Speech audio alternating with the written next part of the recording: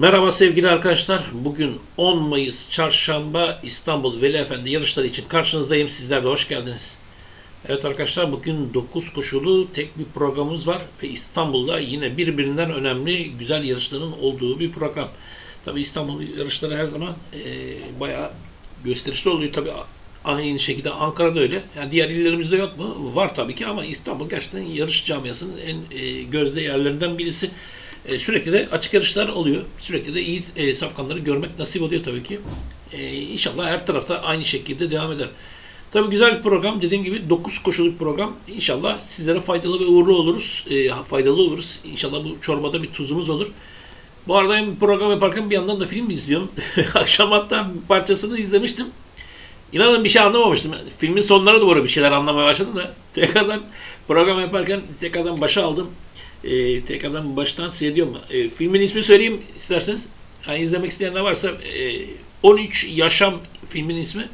Hani maksadım benim burada bir film an, e, reklamı yapmak değil ama gerçekten güzel film. Bir de başroldeki oyuncular da hepsi de birbirinden kaliteli. Hatta Yüzüklerin Efendisi'ndeki başrol oyuncusu da burada. E, daha farklı oyuncular da burada.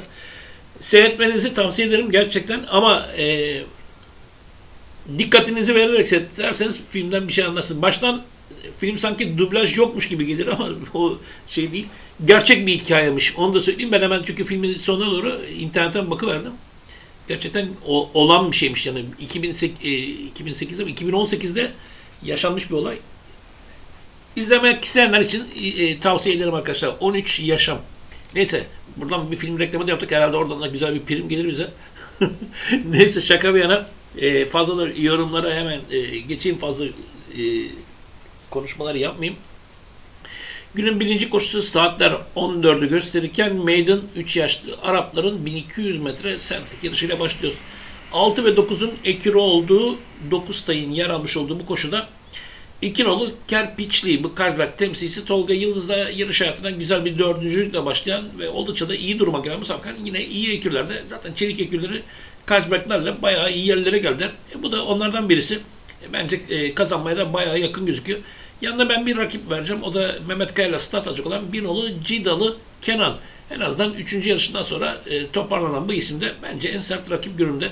Ben bu koşuda 2 ve 1 arasında bir yarış bekliyorum arkadaşlar. Günün ikinci koşusu handikap 16 dişiler ay 4 ve yukarı İngilizlerin 2000 metre sentrik yarışına geldik. 1 ve 6'nın ekür olduğu 8 safkanın yer almış olduğu koşu yine çok güzel bir yarış bizi bekliyor. Tabi dişilere ait yarışta her zaman e, zevkli ve heyecanlı geçiyor. Benim önceliğim ekürlerden yana olacak Altınolu Anadolu Baharı. Bir nolu safkan da ekür olan bu Torok temsilcisi Halis Karataş'ı start alıyor. Ve aradan sonra sezona güzel bir birincilikle başlayan e, bugün artan nefes ve kondisyonu bence daha da şanslı hale geldi. Kazanmaya da çok yakın. Tabii en son yarışında güzel bir birinci geldiğinden Kadir Demirel'e start alacak olan 2 nolu Pixie'nin de güzel bir yarışı vardı. Bence bu güzel yarışına e, bugün e, Altınoğlu Anadolu Bağrı'na çok sert rakip gözüküyor. O yüzden benim önceliğim 6 ve 2'den yana. Ama ilave edelim derseniz 7 nolu can çıkaran e, bu safkan da bayağı iyi bir form yakaladı. Ve bir de 3 nolu Commitment. Bu safkan da benim önlerde şanslı gördüğüm diğer isim oldu arkadaşlar. Yani 6-2 önce 7-3 daha sonra. Günün 3. koşusu şartlı 4 dişilere ait 3 yaşlı İngilizlerin 1300 metre sentrik yarışında 4 safkanı e, bir arada görüyoruz. Aynı zamanda 7'li plase ve 3'lü gayen ayağımızda başlangıç aya. Zaten benim en korktuğum yerler genelde böyle 4 safkanlı, 3 safkanlı yerler. Çünkü birbirini kollama şansları daha rahat oluyor. Ben iki nolu My Pretty Girl bu Kafkas'ı temsilcisi Mehmet Kaya'la start alacak olan Safkan. Kendi aile atlarından birisi. Zaten Selim Kaya'nın üzerine koşuluyor. E, bu Safkan'ın son yarışlarında bayağı aşama kaydetti ve son yarışta kısa vadede bir yarışta iyi bir rakibin hem de bayağı iyi bir rakibin arkasında güzel bir ikincilik elde eden bence bu uygun rakipler arasında da kazanmaya çok yakın gördüğüm isim.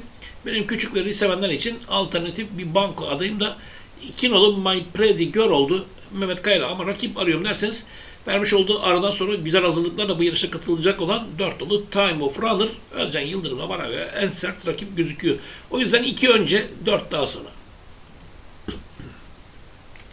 Günün dördüncü koşusundan itibaren ikinci altılı Ganyan ayağımız başlıyor. Şartlı 4, 4 ve yukarı İngilizlerin 1400 metre çim koşusuna 9 safkanın da yer almış olduğu koşuya baktığımız zaman 9 nolu Prenses Han, Nativan temsilcisi Erhan Aktu oldukça uygun kilosuyla Ve aradan sonra koşmuş olduğu yarıştaki güzel üçüncüyle benim bugün kazanmaya en yakın gördüğüm ilk isim. Daha sonra 3 dolu Subutai bir kontratak temsilcisi Halis Karataş'ı start alacak olan bir isim de bu aralar iyi gözüken bir safkan. Ve iyi hazırlıklarla bence burada da yazılması gerekir. O yüzden benim önceliğim 9 ve 3'ten yana olacak. Ama rakip derseniz, çoğaltalım derseniz bir nolu Polpo ve iki nolu Angel of Island bana göre ilave edilebilecek diğer isimler. Ama diğer e, şeylere girersek kapatılmaya kadar gider. Onun da bilgisini vereyim. Ama önceliğimiz 9-3 daha sonra 1-2 ama 1-2 ilave yaparsanız e, bu yarış e, tam karakolda biter. Onu da söyleyeyim. Günün 5. koşusu handikap 16 3 yaşlı İngilizlerin 1400 metre sentrik yarışına geldik. Ve 8 safkanın yer almış olduğu koşu bana göre günün zor koşularından birisi. Çok denk safkanların bir arada olması bu yarışı biraz daha zorlu hale getiriyor. Sıralama benim şu şekilde 3 nolu Tabanka, Kaynako temsilcisi Akın Sözen'le 3 yarış koşup 2 birincilik elde safkan. Burada da birincilikte ilk şans verdiğim safkan oldu. 7 nolu Rafi, Bey, Rafi Boy Win River Win temsilcisi olan Safkan'da Onur Öztürk'le start alıyor ve Safkan oldukça iyi bir formu var. Son iki yarışında arka arkaya ikinciliklerle tamamlıyor bu Safkan. Uygun kilosuyla da burada da bir hayli ön plana çıkan isim. Altınolu Şavonist bir temsil temsilcisi Erhan Aktu ile start alan Safkan'da yine güzel hazırlıklara sahip bir 70 günlük arası var ama çok güzel hazırlıklarla bu yarışa katıldığını da söyleyeyim. Daha sonra iki nolu Castigliano El Carodar temsilcisi Halis Karataş'ı start alacak olan Safkan yine iyi bir ekürde ve iyi hazırlıklara sahip bir diğer Safkan. 4 nolu Gold Cash bir Victor Galo temsilcisi Kocakay'la start alacak olan Safkan'ın yine Gülerce ikilisine ait ve çok güzel bir form yakaladı ve bir güzel formuyla iyi hazırlıklarla burada da bir hayli ön planda ve son olarak da 5 nolu Wizardman bir Fast Famous temsilcisi Vedat Abiş de start alan Safkan'da yine kalite bir yarış sergilemesini bekliyorum. En azından bir yarış gördü. Bu yarışta daha iyi koşmasını bekliyorum. 3, 7, 6, 2, 4, 5 benim bu zorluk koşudaki sıralama. Yani gördüğünüz gibi 8 attan 6 tanesini sıralıyoruz. Hani eğer imkanınız varsa e, inanın bu ayak yani geri kalan iki safkanda yazıp bu ayağı kapatabilirsiniz arkadaşlar. Geldik günün önemli koşularından birisi bir grup 3 yarışı Saim Önhon koşusu. 4 yaşlı Arapların 1400 metre Çin koşusu. Ve 10 tayın yer almış olduğu koşuda son yarışında iyi bir rakibi geçiren ve bugün de bence güzel formuyla ve iyi hazırlıklarla 8 nolu Sarafim bu geri bulunun güzel temsilcisi Halis Karataş'la kendi aile atlarından birisi. Bence bu grubu geçmeye bir hayli yakın. O yüzden benim bugünkü Banko Liman'ın tercihim 8 nolu Sarafim'den yana oldu Halis Karataş'ta. Günün 7. koşusuna geldik. Şartlı 4, 4 ve yukarı Arapların 1300 metre Çin koşusuna. 8 safkanın da yer almış olduğu koşuda 5 dolu Özgür Su, bu turbo temsilcisi Kocakaya'la sonra iki yarışın arka arkaya dördüncülüklerle formunu yükselten bu safkan iyi hazırlıklarla da bana göre kazanmaya bir hayli yakın gördüğüm isim Ankara'da hazırlıklarını tamamlayıp güzel hazırlıklarla bence kazanılması en normal sonuç olarak gözüküyor. 5 dolu Özgür Su'nun. Küçük ve risk sevenler için veya bayağı banko tercihi kullanmak isteyenler için bence çok ideal bir safkan gözüküyor. O yüzden e, benim dediğim gibi alternatif bir banko adayım 5 nolu safkan. Ama rakip arıyorum derseniz 7 nolu Ulu Batır, 1 nolu Arslan Turbo ve 4 nolu Mostar Köprüsü önerebileceğim diğer isimler. Günün 8. koşusu meydan 3 yaşlı Arapların 1200 metre semtlik yarışına geldik ve 9 safkanın da yer almış olduğu bu yarışta bence tam kapatılacak karakolluk bir yer. Ben bu aya bu koşuyu e, iki şık haline ayırdım. Yani tercihiniz nasıl olacak e, tamamen size bırakıyorum. Benim önceliğim bir nolu Akbedir, Karabedir temsilcisi Mehmet Kaya'la iki yarışı bence çok tatminkar. Safkan burada kazanmaya çok çok yakın gördüğüm isim. Üç nolu Girdabanoğlu temsilcisi Ahmet Çelik'le yine iki yarış gördükten sonra iyi hazırlıklara sahip. Ve dört nolu Mucize Hal. Bu Mucize Kaya temsilcisi Sadık Altay'la yine son iki yarışındaki güzel performansıyla benim ön plana çıkan diğer isim. Yani 1, 3, 4 diğer taylar oranında birkaç adım da olsa ön planda gözükenler. Yani bu 3 tay biraz daha ayrılmış gözüküyor ama tabii ki bu ayakta sürpriz olmayacak anlamına gelmesin. E, bence ilave etmek gerekirse de bu ayakta diğer safkanın hepsini hiç ayrımsız yazmanız gerekecek arkadaşlar. Ben şablonda sıralama verdim. Sizler ona göre değerlendirmenizi yapabilirsiniz. Ama önceliğin 1, 3, 4 daha sonra hepsi olarak öneriyorum arkadaşlar. Günün son koşusunda şartlı 3 dişilere ait 4 yaşlı Arapların 1400 metre sentrik yarışına geldik ve 12 safkanın da yer almış olduğu koşuda 9 dolu toprak tutkusuyla başlayacağım bu turbo temsilcisi Kocakaya'la güzel bir form yakalayan bu safkan bugün cikte bayağı ön plana çıkan isim. 8 dolu Topaz Gör bir Kazberg temsilcisi.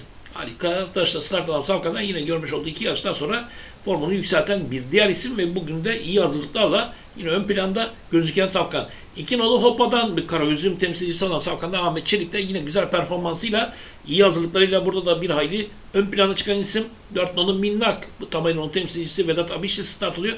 Son yarışta güzel bir birincilik yapan ve daha da iyi duruma gelen bu Safkan'dan bugün yine önlerde şanslı gözüküyor. Bir nolu Melde Kız, bu silah temsilcisi Adem, miydi bu kardeşin ismi? Bakalım. Evet, Adem Ceylan'la bugünün sürpriz isimleri arasında gözüküyor ve iyi hazırlıklara sahip. Aman dikkat edin bu safkana. Bir de Yedinoğlu kim tutar kızı? Bu FM temsilcisi Akın Sözen'le önerebileceğim son isim. 9, 8, 2, 4, 1, 7 benim bu koşudaki sıralama oldu arkadaşlar. Şablonumuz bu şekilde arkadaşlar. Herkese şimdiden bol kazançlar, bol şanslar diliyorum. Yarın görüşmek umuduyla. Hoşçakalın.